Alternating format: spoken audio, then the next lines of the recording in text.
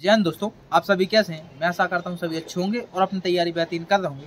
भाई, सभी के कमेंट आए थे, सभी का मतलब बहुत सारे दोस्तों के कमेंट भी आ रहे थे कि बोल रहे थे, सर एस एस में हमें कितना स्कोर करना चाहिए कि हमारा एस एस का एग्ज़ाम क्लियर हो जाए? या ऐसे भी कमेंट है, आपको दिख भी रहे कमेंट जिसमें लगा है सर एस एस की कट ऑफ़ कितनी जा सकती है? इसके लिए कितना स्कोर करना पड़े? हम कितना स्कोर करें कि एस क्लियर हो जाए एस में सिलेक्ट हो जाए हम?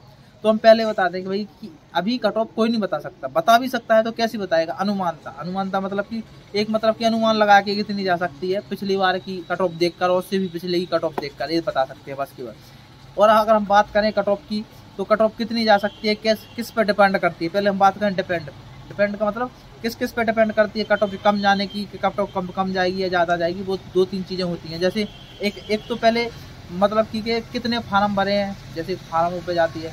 अब हम दूसरी बात करें एग्ज़ाम के ऊपर एग्ज़ाम कैसा आया हुआ है? एग्ज़ाम मतलब कि सरल है या कठिन है या मॉडरेट है? दो तीन प्रकार के मतलब सरल आएगा तो आपकी मेरिट हाई जाने की मतलब संभावना हो जाती है। मॉडरेट है तो नॉर्मल मेरिट होती है, जितनी जाती है बीच की उतनी। अगर हार्ड होगा तो और कम मेरिट जाएगी। और आगे हम बात करें जैसे कि अगर ये तो हो गई दो पहला फैक्टर मैंने क्या बताया? फार्म की। दूसरे मैंने एग्ज़ाम की। अब तीसरा बताया नॉर्मलाइजेशन की। कि नॉर्मलाइजेशन का भी बहुत खेल होता है कि नॉर्मलाइजेशन किस प्रकार से मिल रहा है? एसएससी नॉर्मलाइजेशन आपको कम दे रही है, दो दो तीन तीन नंबर का दे रही है, या आपको बहुत ज़्यादा नंबर है पिछले बार क्योंकि नॉर्मलाइजेशन पंद्रह पंद्रह तक नंबर बीस बीस नंबर तक का मिला है नॉर्मलाइजेशन तो और कट ऑफ़ हाई चली गई थी, बहुत ज़्यादा हाई गई थी। और पिछले बार हाई जाने का ये भी रीजन था एज रिलैक्सेशन क्योंकि इस बार एज रिलैक्सेशन भी नहीं है। पिछली बार एज रिलैक्सेशन था कि एज रिलैक्सेशन तीन साल का दिया गया था, वो भी समझ सकते हैं कि उससे भी कट ऑफ़ बढ़ जाती है, क्योंकि जो बच्चे पहले से तैयारी कर रहे हैं वो ओवर एज हो गए थे तो और उनकी तैयारी अच्छी हो चुकी थी और उन्हें फार्म भरे और मतलब कि पेपर निकल गया, अच्छे नंबर आ गए। लेकिन इस बार एज रिलैक्सेशन नहीं दिया गया तो कट ऑफ़ कम भी हो सकती है। लेकिन वो आगे करेगी एग्ज़ाम और नॉर्मलाइजेशन के ऊपर पूरी डिपेंड करती है बच्चों के ऊपर डिपेंड करती है। लेकिन अगर अब हम, आपको अनुमानता या अनुमानित सोच के बताएँ, अगर सोच के मतलब कि पिछली बार की अपेक्षा देखें बात करें कि पिछली बार कितनी वैकेंसी थी और इस बार वैकेंसी कितनी पिछली बार पचास हज़ार वैकेंसी इस बार छब्बीस हज़ार वैकेंसी है। ये भी फैक्टर करता है फैक्टर है कि वैकेंसियों पे भी निर्भर करती है दो तीन चीज़ें होती हैं। अब हम बता दो कट ऑफ़ कट ऑफ़ कितनी जा सकती है पहली बार तो कट ऑफ़ देखो ऐसा सब की पहले बात करें तो एस एस सब की पिछली बार की जितनी गई थी, उसी के अनुमानता समझ लीजिए सीधी सीधी बात है। और नॉर्मलाइज स्कोर समझ लीजिए। आप जैसे समझते हैं, सर, हमारा एक सौ पैंतालीस प्लस मॉक टेस्ट में आ रहा है तो हमारा हो जाएगा। भाई, ये तो आपका दो मार्क है। मेरिट जाती है नॉर्मलाइजेशन के बाद की।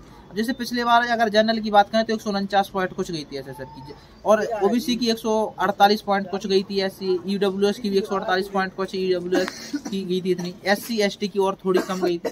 तो इतना तो आप समझ लीजिए कि इतना तो मेरिट जानी ही जानी है। क्योंकि अब एस एस के बारे में बहुत सारे लोगों को पता चला गया पोस्ट प्रेफरेंस भी फ़र्स्ट भर रखी है, इसलिए अब मेरिट ज़्यादा हाई जाती है। पहले पता नहीं था अब लोग दोस्तों को, भाइयों को, बहुत सारे लोगों को कि मेरिट कितनी जाती है मतलब मेरिट जाती कितनी मतलब पोस्ट प्रेफरेंस क्या बननी है? एस एस बननी है सी बननी है क्या? कुछ भी भर देते।